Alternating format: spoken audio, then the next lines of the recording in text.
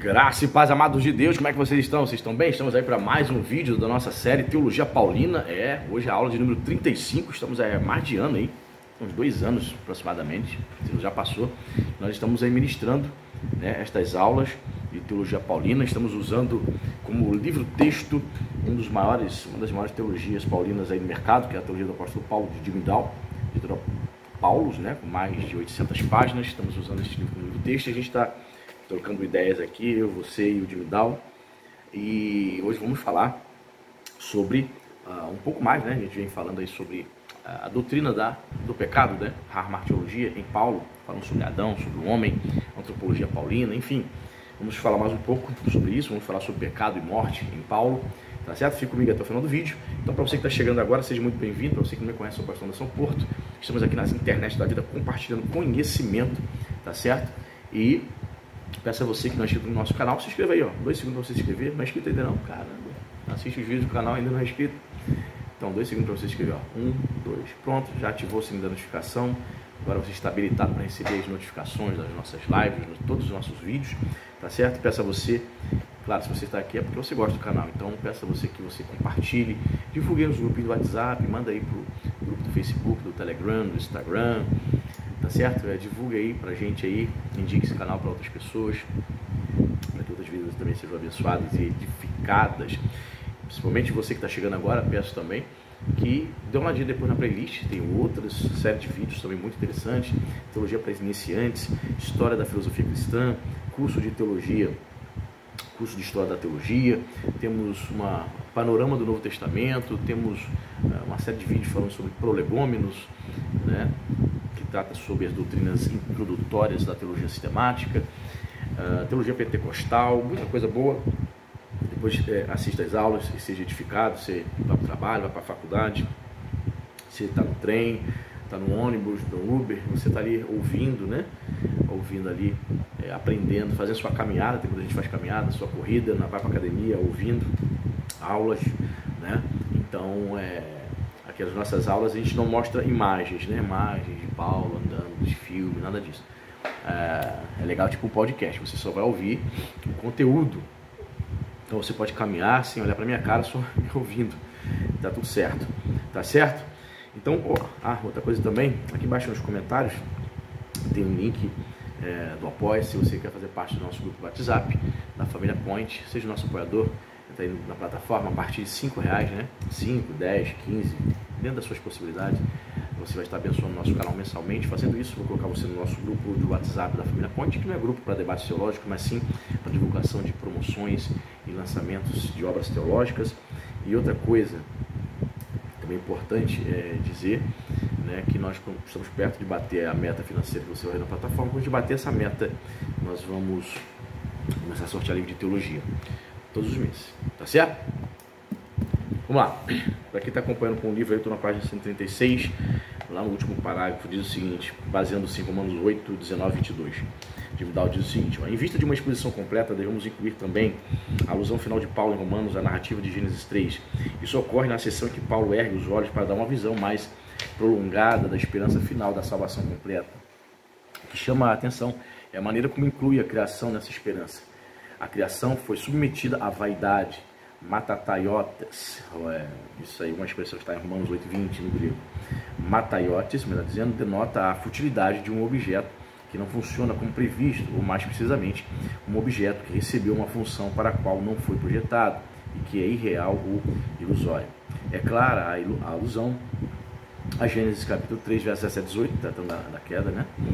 Ah, o verbo equivalente foi usado em Romanos 1, 22, para descrever o vazio do pensamento que não começa pelo reconhecimento de Deus. A criação foi incluída na futilidade da autoilusão humana. Pensar que está em relação com o resto da criação, como Criador, com a criatura. A humanidade impõe a futilidade tanto à criação como a si mesma. Há, portanto, desarticulação com a relação à criação com as suas criaturas humanas compartilhem Romanos 8, 22 a 33. Mas, do mesmo modo, como a criação participa da futilidade da humanidade, assim também participará da libertação da humanidade da escravidão da corrupção, conforme está em Romanos 8, 21. Então, está já aqui na parte, é, na parte final de mais uma sessão aqui, onde já vai estar trazendo já, chegando à parte de, do sumário que a gente veio falando nos vídeos anteriores. Né? Ele faz aqui um link é, de Gênesis 3, da queda, da narrativa da queda, com a, a descrição do apóstolo Paulo em Romanos capítulo 1, verso 18 até o 32 ali, onde você vê a descrição, um retrato, onde o apóstolo Paulo traz um retrato da sociedade, da humanidade caída, né? O Adão, né? Adão, a humanidade é, caída, a humanidade longe de Deus, a humanidade que teve a sua percepção, né? a, sua, a sua imagem, né? O homem foi criado conforme a imagem, semelhança de Deus, ou seja, essa imagem foi manchada por conta da queda, por conta do pecado, e o apóstolo Paulo ali traz um retrato, pinta um retrato terrível, um retrato muito denso, muito de trevas, né? De como está o homem afastado de Deus. É, a gente vê, né? Nos dias de hoje, a gente fala, né? Cada dia realmente piora a situação do homem. A questão é a seguinte: o homem sempre esteve caído. A grande diferença é que parece-me que a gente é, enxerga mais isso, está mais patente, por conta de dois fatores, óbvio. Né? Por conta da humanidade ter crescido populacionalmente. Então, quanto mais pessoas, quanto mais pecadores nesse, no globo terrestre, mais estará evidente o, o pecado. Ah, os resultados, as consequências da queda. Certo? Isso dá por conta do crescimento populacional e, em segundo lugar, por fato de hoje nós termos, temos ah, condições que nós não tínhamos há dois anos atrás, que é a questão da informação. A informação é instantânea por conta das redes sociais, cada internet. Acontece algo uh, lá em Jerusalém, algo a 10, 12 mil quilômetros de distância, no outro lado do mundo, e essas informações chegam rapidamente. Uh, as notícias de, de males e desgraças por conta da TV, por conta da internet, é, enche os nossos corações. Algo que no passado, na Idade Média, é, na Idade Antiga, né, você levava muitas vezes meses para saber de determinados acontecimentos. É, a notícia, ah, o rei tal não é mais o rei tal, foi deposto, agora há um novo rei. Às vezes essa notícia levava dois, três meses para chegar até as províncias, por conta da, da comunicação ser precária, não, não ser como, obviamente, como hoje, nos dias de hoje. Então, é, mas a verdade é que, que, que essa natureza caída, a verdade é que essa perversidade no coração do homem, ela está presente. Está presente no homem moderno, com todo conhecimento, com todo recurso tecnológico. Esteve presente na Idade Média, esteve presente nos tempos do apóstolo Paulo, nos tempos de Jesus, desde a queda. Né? E quando você lê Romanos capítulo 1, verso 18 a 32, você percebe isso, parece que Paulo está fazendo uma descrição dos dias de hoje, não é verdade? Né? Os homens, as mulheres deixaram o seu modo natural, homens com homens se inflamando, praticando coisas vergonhosas. Né? É, naquele tempo já era vergonhoso, dois homens, embora a sociedade greco-romana fosse bastante liberal, digamos assim, né? ainda assim Paulo diz, ó, homem com homem, mulher com mulher, é algo vergonhoso, ou seja, é pecado. Então parece que Paulo está descrevendo ali parece que tinha passado em frente a uma, uma marcha, uma marcha, né, uma passeata gay e estava descrevendo, ela viu homem ser vergonhoso, ser pecado. Então estava descrevendo a, a natureza, a, o estado né, pecaminoso a, do homem. Mas aqui, o, o, o aspecto a ser destacado aqui é a solidariedade da humanidade com o resto da criação, de Adão com Adamá, da qual Adão foi feito. Né? Ou seja, o homem Adão do hebraico, foi feito da Adamá, da terra, do pó. Em outras palavras, a convicção é corolário derivado diretamente de Gênesis capítulo 2 e 3. De início, este pensamento parece ir além do de 1 Coríntios capítulo 15, versos 42 e 50, que só fala de que os humanos participam da transformação da ressurreição. Mas aqui precisamos lembrar novamente o significado de soma. A palavra soma vem do grego, significa corpo. Significado de soma como corporificação apropriada para o ambiente. O reconhecimento da natureza da humanidade como espécie corpórea conduz diretamente à esperança confiante de que Deus também providenciará ambiente apropriado para a corporificação no mundo vindouro. Ou seja, a questão do pecado ter afetado né, não somente a imagem e semelhança, essa imagem foi afetada, mas também o nosso corpo. Né? Com a entrada do pecado, o nosso corpo foi é, também atingido, né? Também foi atingido de maneira mortal, ou seja, o homem passou a experimentar a morte física, né? O envelhecimento, quando o envelhecimento e a deterioração desse corpo, né? Quando Paulo fala que o homem exterior se corrompe e o interior se renova a cada dia, Paulo está tratando dessa questão né, do homem exterior da casca, né, do corpo, se decompor se a cada dia, a cada ano e se deteriorando. Mas ele entende que se nós temos comunhão com Cristo Jesus, o interior é renovado, enquanto o exterior ele, ele, ele ainda sofre os efeitos da queda do pecado. Sumário. Em resumo, a humanidade no mundo não é apenas fraca e corruptível, também está envolvida uma inevitável dimensão de pecado, de falha e transgressão. Os humanos foram criados para o relacionamento com Deus. Relacionamento é, é relacionamento que é a essência da vida humana. Relacionamento que dá à humanidade a plenitude de ser como criatura em relação a Deus e como humana em relação ao resto do mundo. Mas a humanidade cometeu o equívoco de pensar que podia alcançar uma relação mais satisfatória com o mundo se se libertasse da sua relação com Deus. Afastou-se de Deus e concentrou sua atenção exclusivamente no mundo, rebelando-se contra o seu papel de criatura e pensando poder opor-se como criador por seu próprio direito. Essa, essa tensão, né? Essa tensão entre mundo, é, do mundo carnal, né? mundo material, essa tensão entre o mundo carnal e o mundo espiritual, entre o viver no espírito e viver na carne, é, ela está presente no crente. Né? Mesmo você tendo o Espírito Santo, mesmo você tendo a experiência do novo nascimento, se você não cuidar da sua vida espiritual, se você não permanecer ligado à vida verdadeira, você volta a praticar coisas que você sabe que é pecaminosa, você volta a estar em estado de rebelião contra Deus. Né? Então, é por isso que Jesus vai dizer, a carne na verdade não está pronta, né? ou seja, a natureza caída nunca estará pronta. Ela sempre desejará rebelar-se contra a vontade de Deus. Por isso que o homem precisa ser, como diz Paulo, pneumáticos. O homem precisa ser o que? Espiritual.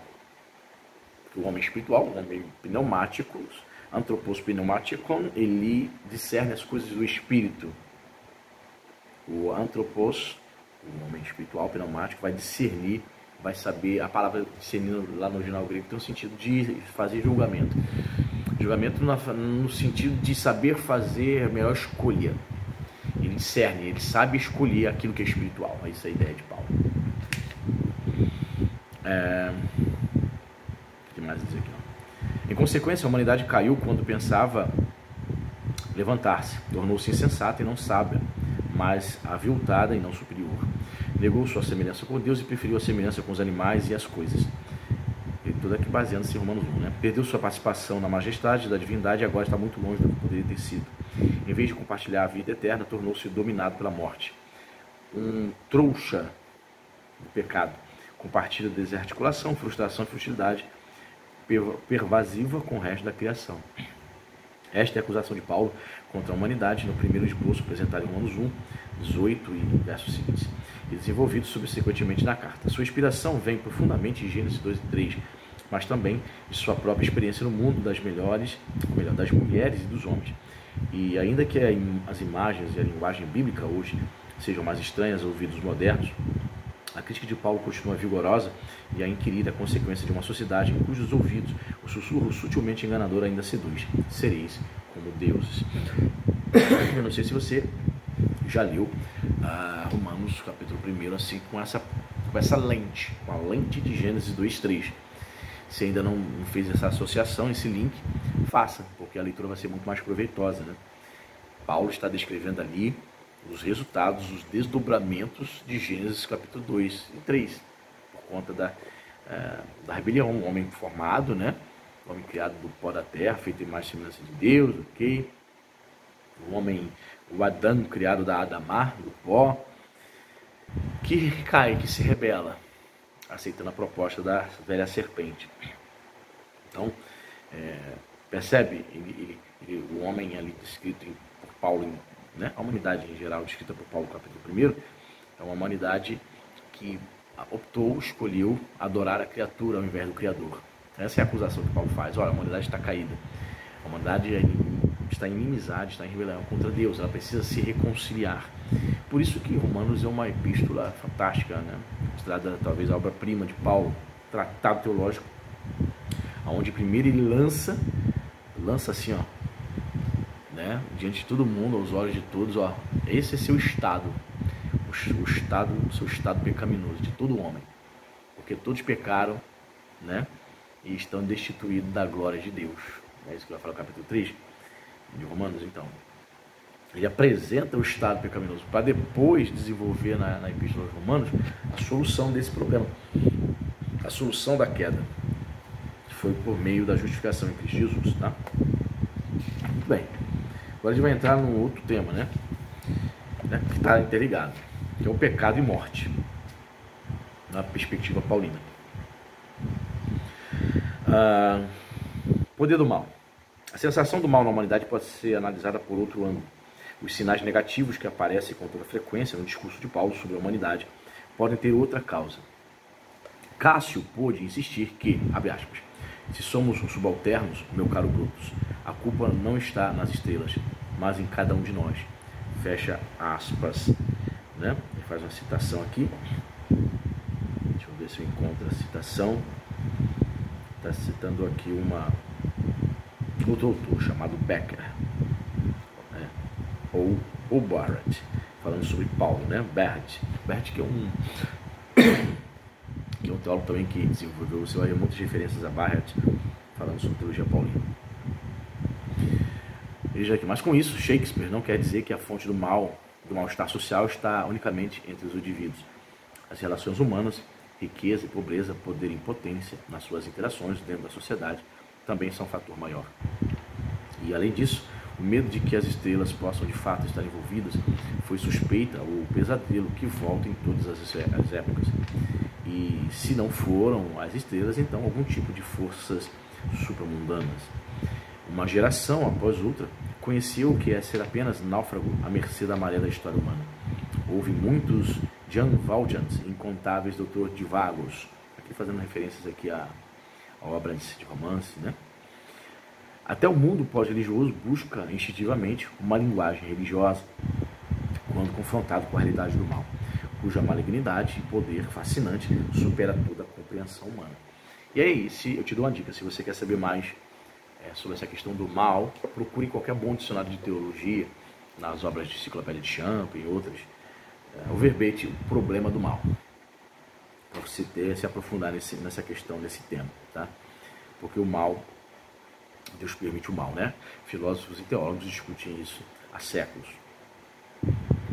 O século XX pensava que o holocausto do início da década de 1940 foi um terrível retrocesso à pré-civilização bárbara, mas apenas 50 anos depois viu horrorizado os massacres genocidas da Bósnia e de Ruanda, chamada limpeza étnica.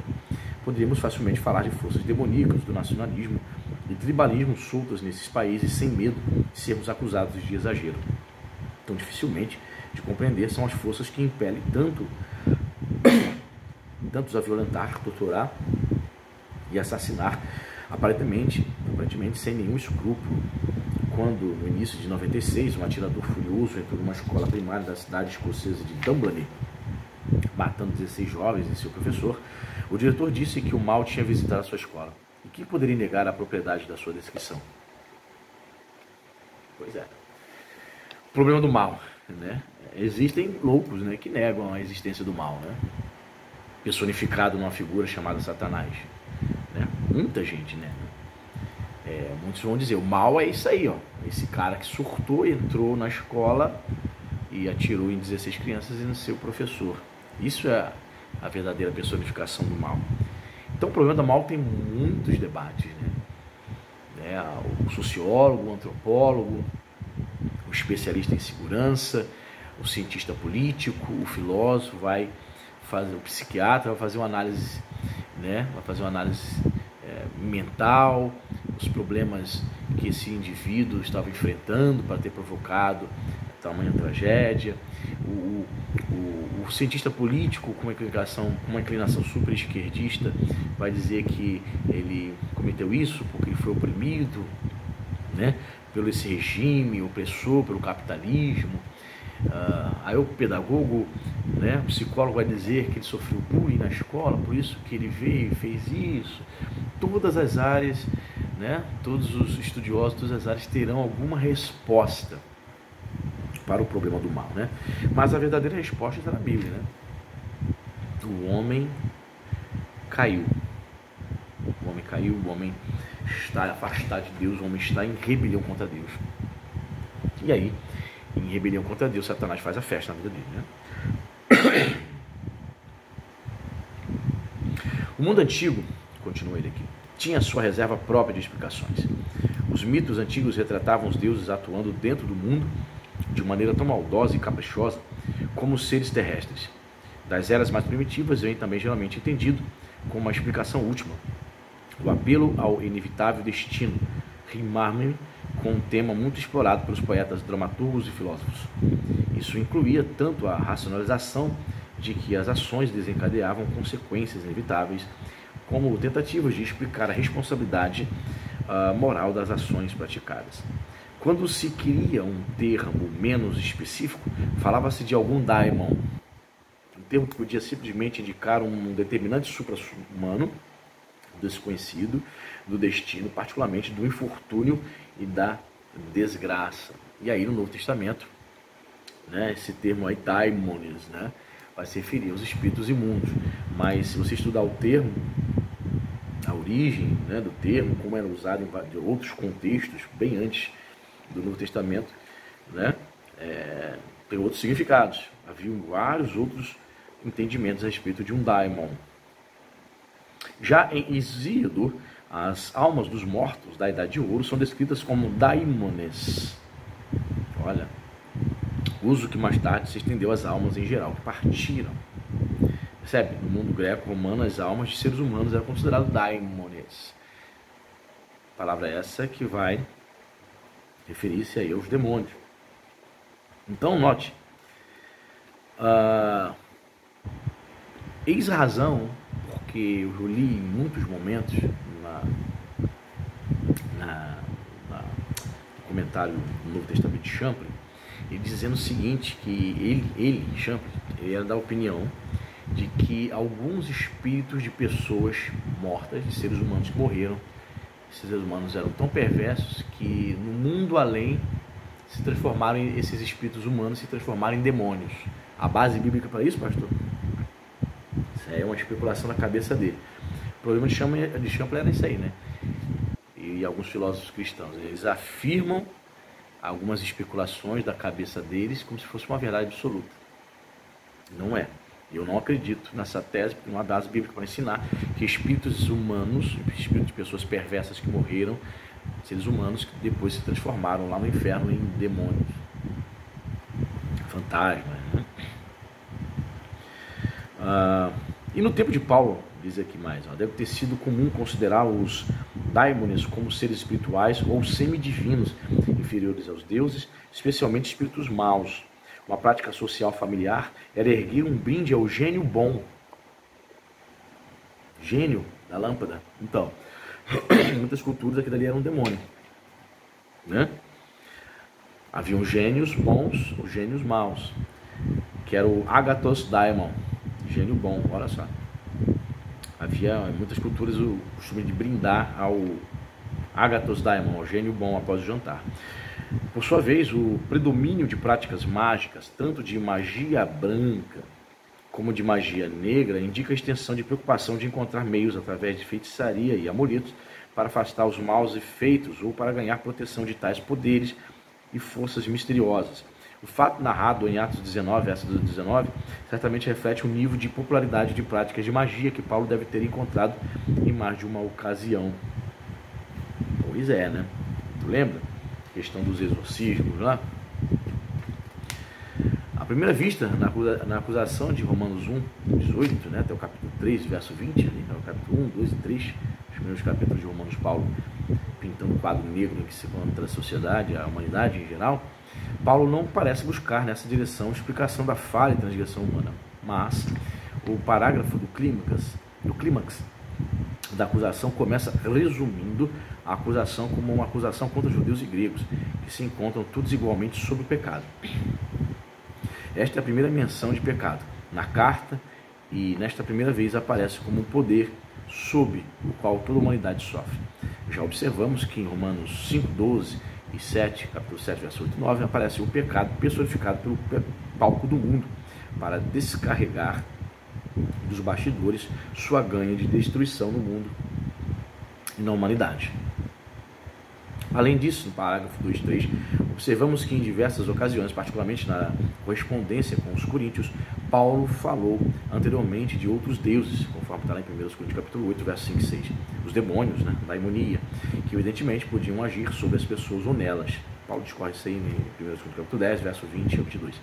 E o Deus deste mundo que obscureceu a inteligência dos incrédulos, segundo as Coríntios 4.4.